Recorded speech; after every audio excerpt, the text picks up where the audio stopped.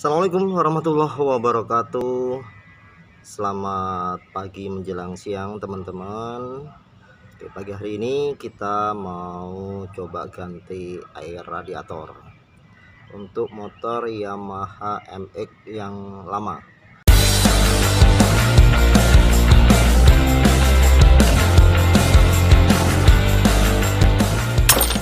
Nah kemarin kita udah bongkar semuanya jadi kita nyicil-nyicil ya Nah setelah dibongkar kemarin ternyata itu air radiator yang di bawah ini Nah ini cadangannya nih habis. Wah saya kan kurang begitu paham tentang air radiator untuk motor gitu kan. Setelah kita kemarin telusuri kita coba uh, searching di YouTube. Ternyata saya menemukan dari channelnya Kang Namus TV nah, ini saya dapat ilmu baru ini dari Kang Namus. Sebelumnya terima kasih buat Kang Namus. Nah ini keluhannya atau yang dia bahas ini kebetulan sama dengan apa yang saya butuhkan. Jadi Kang Namus di sini bilang nah ini seperti yang ada di gambar nih guys. Kurang lebih sama Kang untuk jenis MX kalau ingin menambah air pendinginnya kita cuma isi di stok botol air pendinginnya saja yang ada di bawah. Nah, seperti di videonya Kang Namus nih teman-teman ya bisa cek sendiri terus kalau misalnya menguras buang semua air radiator di mesin eh, radiator di mesin. Cara mengisinya harus dari kotak radiator yang di atas sampai penuh. Terus kemudian juga isi juga stok botol yang ada di bawah bila sudah batas maksimum minimum.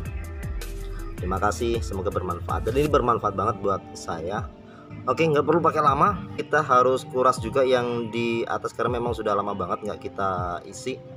Kali ini akan kita ganti air radiatornya. Nah di sini ada baut 10 guys. Dahulu dan ini baskomnya juga sudah saya ganti.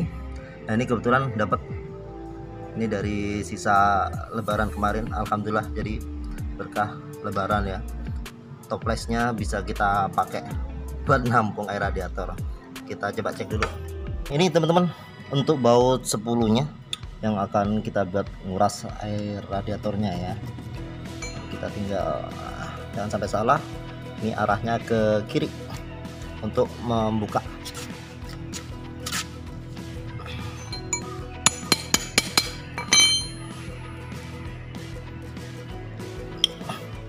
Wow lumayan berat guys lama banget nah ini yang ditutup tadi udah saya kendorin jadi biar mancur airnya.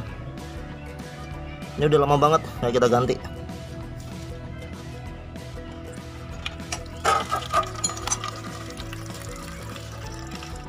Seger guys. Waduh tinggal sedikit ya. Ini kayaknya seger banget serasa kayak sirup.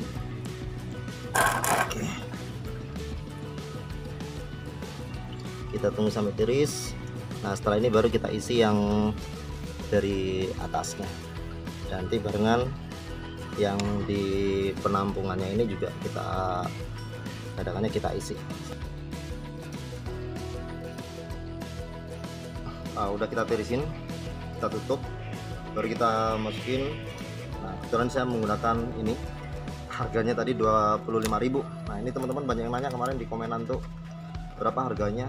Nah, ini cuma 25.000 jadi nanti setelah ngisi dari sini baru kita isi yang di bawah juga.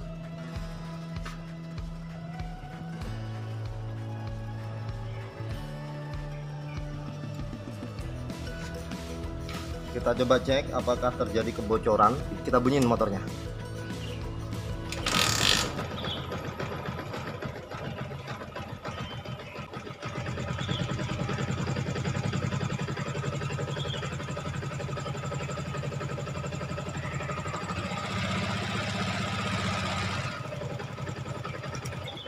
ternyata aman.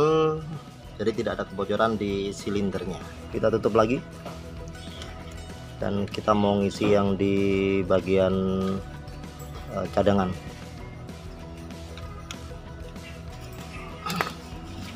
Ini kemarin udah saya copotin. Jadi sekarang tinggal buka-buka saja. Jadi nggak sampai full Kita tutup kembali.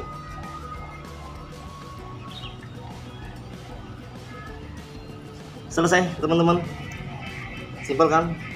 Jadi kalau teman-teman bukan mekanik mudah-mudahan video ini bisa membantu teman-teman yang mau mengganti radiator uh, air radiator sendiri ya untuk motor Jupiter M2 terima kasih.